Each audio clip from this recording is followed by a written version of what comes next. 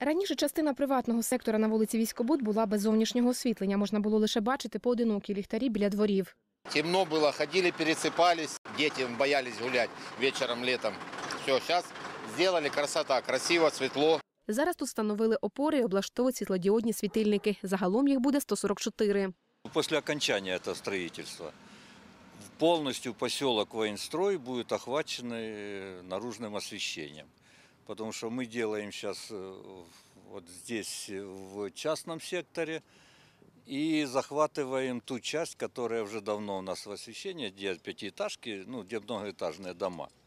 Там тоже два, шка- два ТП охвачиваем. Роботи з облаштування зовнішнього освітлення тут планують завершити до кінця березня. Анна Крамаренко, Сергій Ригеда, телеканал ЗЕТ.